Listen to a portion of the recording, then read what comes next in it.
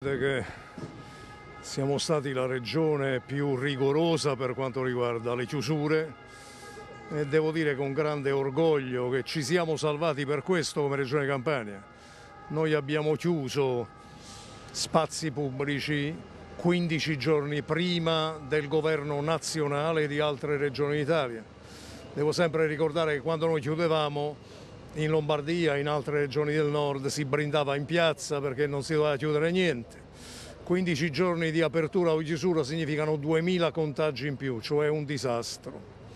Allora noi abbiamo mantenuto sempre una linea di grande rigore e questo ha salvato la nostra regione. Abbiamo anche detto però che non avremmo perduto un minuto di tempo in relazione all'andamento dell'epidemia. Oggi siamo in pratica in Campania a contagio zero zero contagi, zero contagi, un contagio, due contagi, ma insomma in sostanza l'epidemia è sotto controllo.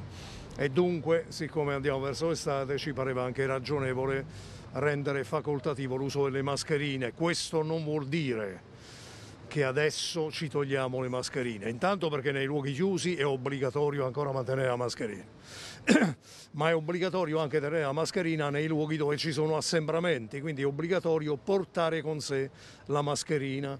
Come vedete io continuo a indossare la mascherina anche per dare un esempio. Cioè è chiaro che se stai sulla spiaggia eh, stai ad agosto, insomma, un minimo di flessibilità è ragionevole, però è bene avere molta prudenza. Il fatto che non sia più obbligatorio all'esterno non vuol dire che non si possa e non si debba indossare. Io continuerò ad indossarlo fino a ottobre, fino a quando saremo in condizioni di assoluta tranquillità e invito le famiglie e i cittadini a fare altrettanto. Quindi,